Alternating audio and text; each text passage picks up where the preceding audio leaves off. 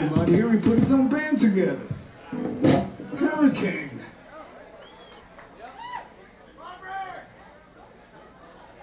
That is correct, Hurricane. I don't know, we go back to, gosh, uh, 1983. Uh, I just uh, left New Jersey, Paramus, New Jersey. If you're familiar with uh, Route 17.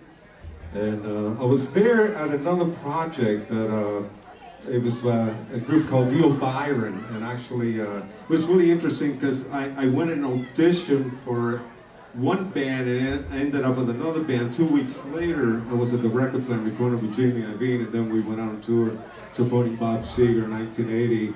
But uh, anyhow, um, I moved to a city, and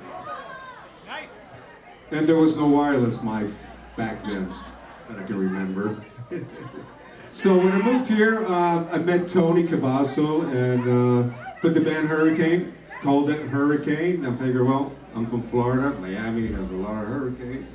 So, but it was really challenging back in the day, even in the 80s. Uh, uh, back um, here in LA, uh, they, they, were charging people to perform, which I had never heard of that concept back in Jersey. There was a lot of shows that you could do all over New, you know, Jersey, upstate New York, Connecticut, Florida.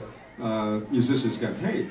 So when I moved here, it's like, gosh, uh, how am I going to overcome this thing? I already had done a record and a tour uh, you know, all over the country. And so I thought, well, why don't we do a record? So it actually worked out really well. We went out, we cut a record. It was uh, the first record, uh, Take What You Want.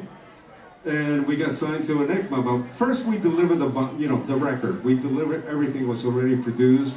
It was already accomplished. So uh, compared to the way you have to do things nowadays, pretty much the same concept.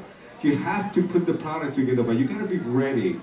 You have to really work hard at your craft. Hurricane, we rehearsed seven days a week, and it, it, it really paid off. It, it, it was really a, uh, it was a great band, and everybody in the group is still uh, touring, still working with everybody else. So, uh, want to bring on uh, Mike Hansen. He's been with uh, Hurricane, and I'm sure you've seen him around everywhere.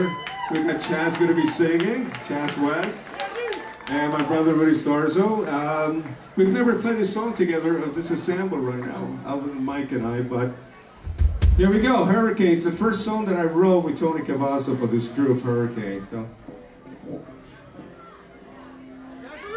How you doing, people? Yeah! All right, thanks. Time for me too, so we're all, hold on, let me, uh,